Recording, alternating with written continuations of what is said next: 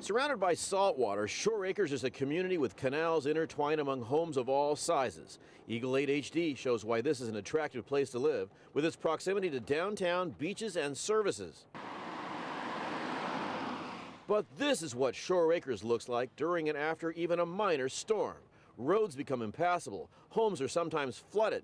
It's definitely crazy because if you have a car that can't go through, you know, roads that are this full of water, what are you supposed to do?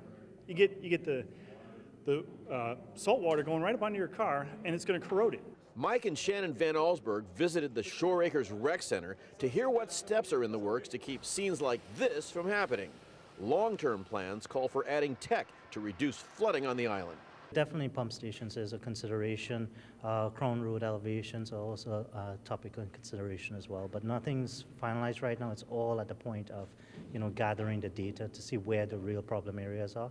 Now we can do the modeling and appropriately identify them. St. Petersburg city engineers know where major flooding happens. That's the blue areas on this map.